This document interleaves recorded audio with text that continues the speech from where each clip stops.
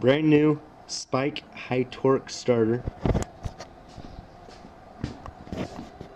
Every time it comes up to the top position where it's marked, it won't turn over, it just clicks. Once you manually turn it away from that position, it'll crank over.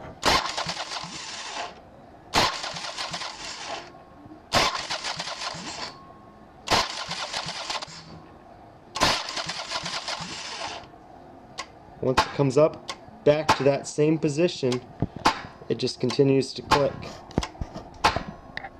until it is rotated.